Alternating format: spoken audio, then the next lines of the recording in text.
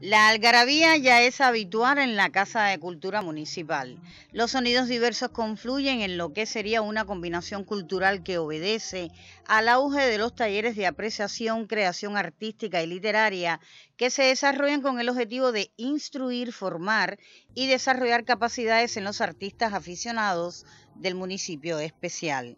Tienen los instructores de arte la misión de prepararlos para apreciar, disfrutar y crear a partir de las diferentes manifestaciones del arte y la literatura, desarrollar también desde este espacio con las escuelas y la comunidad procesos participativos de apreciación, creación y promoción del arte y la literatura que todos contribuyan a garantizar el enriquecimiento espiritual de la población principalmente de niños y jóvenes, en aras de salvaguardar la cultura popular tradicional. Acabándose el verano empezó las teleclases y luego de las teleclases impartimos talleres aquí en la Casa Municipal y en todas las casas de culturas aledañas de lunes a domingo. Hay talleres todos los días en diferentes tipos de horarios, desde la 1 de la tarde hasta las 6 de la, de la tarde para todos los grupos etarios igual. Hay talleres de bailes tradicionales, talleres de canto, de guitarra, de eh, baile popular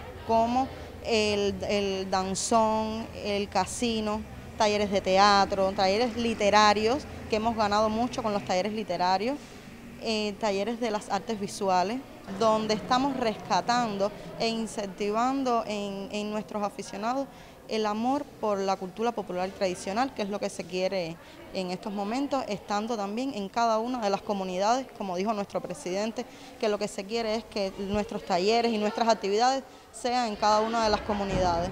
De ahí se desprende que su importancia para la salvaguarda de la identidad cultural es dar respuesta a sus necesidades, consumo y disfrute de quienes participan en estos talleres.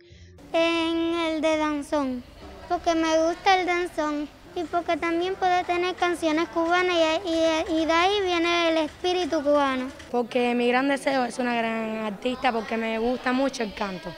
Me gusta mucho cantar, desde chiquita canto mucho y no es el primer día que vengo al taller, ya me gusta mucho el taller, porque nos tratan bien, eh, entre todos cantamos y socializamos bastante. Y yo canto desde chiquitica.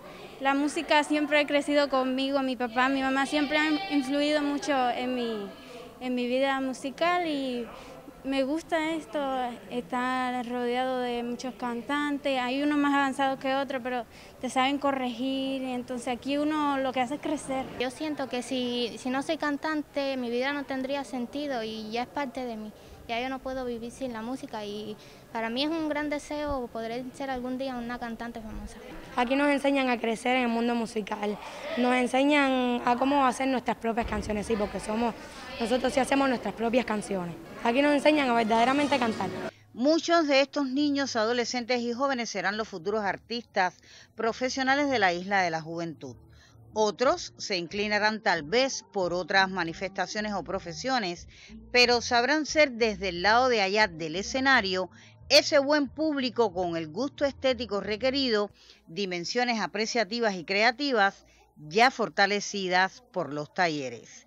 Katia Álvarez, Isla Visión.